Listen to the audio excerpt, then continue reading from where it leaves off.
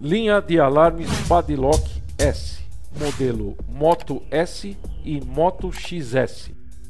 Gravando o controle remoto, acione a chave de ignição quatro vezes. Aguarde o bip informando a entrada do código. Aperte o botão pânico por um segundo, aguardando o alarme confirmar com dois bips. Agora é só você testar a funcionalidade do novo controle remoto. Testando a sensibilidade do sensor de inclinação por acelerômetro na moto. Durante o período de 30 segundos, se você balançar a moto, haverá bips indicando que o sensor está sendo acionado. Após os 30 segundos, o alarme irá disparar desativando o alarme com o código de segurança.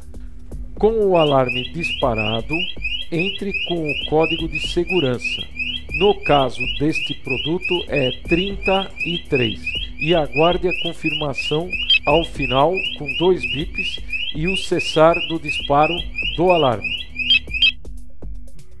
Programando o controle remoto para funcionamento por presença com a ignição da moto desligada, pressione o asterístico pânico e o cadeado fechado ligar por 10 segundos e aguarde a moto confirmar com 3 bips.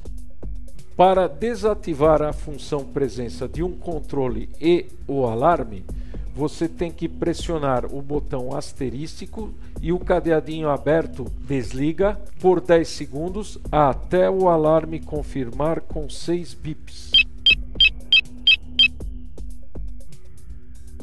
Testando a distância do controle remoto por presença.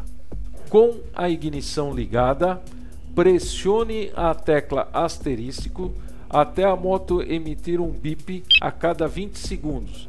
Você vai se afastando da moto até o momento que ela não responde mais. Nesse instante, você sabe a distância do controle remoto de presença. Testando o sistema de anti-assalto por presença. Ligue a moto e mantenha no neutro.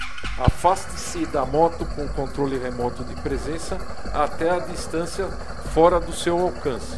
O alarme começará a procurar pelo controle remoto. Caso o controle remoto de presença esteja fora do alcance do alarme e não seja localizado em até 2 minutos e meio, a sirene emitirá bips curtos, diferentes do disparo normal do alarme, durante 15 segundos com o ciclo completo, 2 minutos e meio de busca, mais 15 segundos de alerta, o alarme disparará e fará o bloqueio da moto.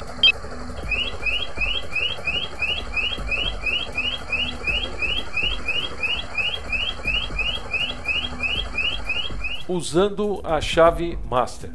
Caso você tenha instalado um botão auxiliar no fio preto e branco do alarme, você pode introduzir a senha digital personalizada da mesma forma que você faz com a chave de ignição.